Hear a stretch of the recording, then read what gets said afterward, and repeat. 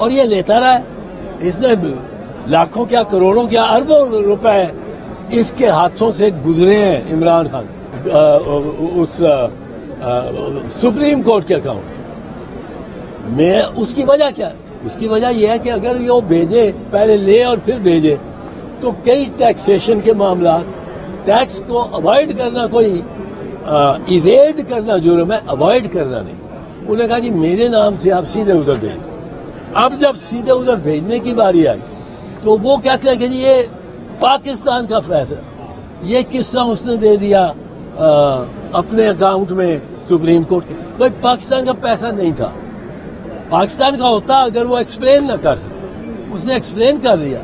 मियाँ साहब भी बरी हो गए। मियाँ नवाज़ शरीफ शहबाज शरीफ हुसैन नवाज़ ये भी उसमें क्लियर हो गया। बैरिया भी क्लियर हो गया। वो पैसा। अब अल कादिर यूनिवर्सिटी।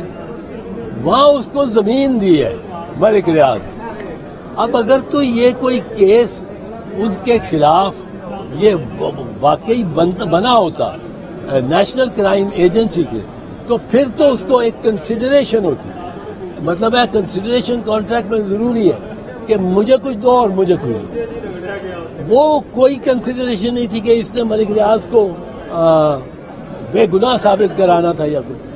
वो आ, जो आ, वो वो जो ज़मीन थी ज़मीन इमरान खान को आ, खुद मियाँ नवाज़ शरीफ ने भी डोनेट की थी इस लाहौर के शौकत खानम के लिए। अब मियाँ नवाज़ शरीफ को भी पकड़ो। डोनेशन चैरिटेबल कॉजेज गौर कंपनीज़ को मिलती हैं और ये लेता रहा है। इसने लाखों क्या करोड़ों क्या अरबों रुपए इसके हाथों से गुजरे हैं इमरान खान, जो उसके नाम पे नहीं।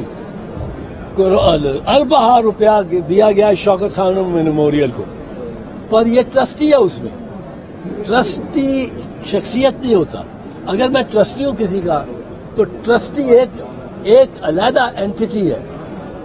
वो एक गोश्त पोस्ट की एंटिटी नहीं है, पर वो बैंक अकाउंट खोल सकते हैं, वो तजारत कर सकते हैं, वो ज़मीन खरीद सकते हैं, वो ज़मीन बेच सकते हैं। ट्रस्ट एक एंटिटी है, एक खुद एक जो वो ट्रस्ट इंडिपेंडेंट है। ये अब हर केस जो कर रहे हैं, वो बिल्कुल जाली है। ये चार तो मैंने आपको बताए ये मियाँ साहिबान और मियाँ शहबाज शरीफ और शरीफ खानदान की इस कोशिश की है कि जी गलियाँ हो जाए सजियाँ मिर्ज़ा यार फिरे।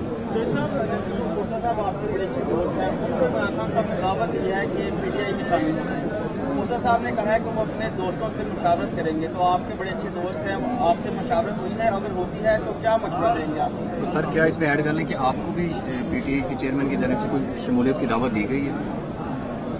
देखो शमूलियत की दावत तो ऐसा नहीं है कि मुझे कहा गया हो पर आ, वो मेरी तबीयत को जानते हैं शायद कि मैं आ, ये उम्र मेरी नहीं है अठहत्तर साल उम्र होगी पार्टियाँ बदल रही वो एक चाहे अच्छा काम करूँगा। मैं इमरान खान के उसकी इस डिफ़िकल्ट पोजीशन उसके इस आ, उसके साथ जो नाइंसाफी हो रही है उसके साथ जो जबर हो रहा है उसमें इमरान खान के साथ बिल्कुल साथ इसमें मैं अपनी पार्टी को भी समझ जाता हूँ कि भाई देखो, आज इधर से वो करते हैं, कल हमारे साथ करेंगे। ये, और ये नून वालों के बारे में तो जो आज मेरी पार्टी का आज मौकफ है, ये मेरा मौकफ रहा है। आपने देखा ये। अब मेरी पार्टी का भी मौकफ यही है। वो मेरे से अब इतफाक कर रही है मेरी जमात और मुझे इस बात की बड़ी खुशी है। अब जब मेरे साथ इतफाक कर रही है तो मैं उसको छोड़ जाऊँ वो भी कुछ ठीक नहीं। खोसा साहब को मैं मशवरा क्या दूँगा? खोसा साहब खुद जीरक आदमी है खुद उनके साथ ज़्यादा ज्यादती की है। उनका नाम तस्वीर लगा दी वॉल ऑफ़ शेम में और वो ज़्यादा मजलू है। और मेरा ये है कि मैं अपनी एक ओपिनियन और राय रखता हूँ, इमरान खान और उसके बारे में। मेरा हमसाया रहा है, साठ साल से दोस्त है। उस दोस्ती में मैं उसके साथ आपने इमरान खान के चार केसेस के बताया एक और केस भी बड़े चलते हैं, वो बुशरा बीबी और इमरान खान के निकाह से मुतालिक है जिसकी आज की समात और मुलजिम लतीफ ने अपना एक बयान भी रिकॉर्ड करवाया। क्या समझते हैं इस केस में कितनी सच्चाई है क्या हकीकत है और ये केस कैसे बनाया? देखो ये केस जो है ये तो शर्म उनको आनी चाहिए जिन्होंने केस बनाया। शर्म आनी चाहिए। ये आ, मैं तो हैरान हूँ कि इतनी पस्त हो गई है हमारी जहनीत और निगरानों की जहनीत और नून लीग की जहनीत वो इस तरह का केस बना रहे हैं जिसमें साबित क्या कर रहा हूँ साबित यही नहीं कर रहा हूँ कि निकाह हो गया निकाह पढ़ दिया अगर वो निकाह पढ़ के एक आ, उनकी खिलवत ही नहीं हुई ये कौन साबित करेगा कि खिलवत हुई? ये कौन साबित करेगा? इस तरह के पर्सनल मैटर्स में जाना। अगर खिलवत नहीं हुई तो कोई। निकाह पे निकाह हो गया। बात नहीं। बात तो है खिलवत की। अब ये और एक बंदा कौन गवाह इनका बहुत बड़ा गवाह कौन बड़ा गवाह है खावर माने का। वो जो जिस दिन ये पहले साल पहले, दो तो चार साल पहले जब ये हुआ वाक्य जब ये सेपरेशन हुई तो उसने कहा, मैंने इस जैसी बुशरा बीबी जैसी पारसा, पाक दामन, नेक सीरत, मैंने औरत कोई देखी नहीं और, सुना भी नहीं है, इतनी पारसा अब उसको, कब खुला तुझ पे ये राज?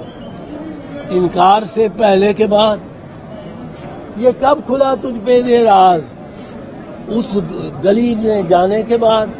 चार महीने जेल में काटे। पहले कह रहा था, इस जैसी इसको, इसकी इबादत करनी होगी इजाज़त हो तो इसकी इबादत करे।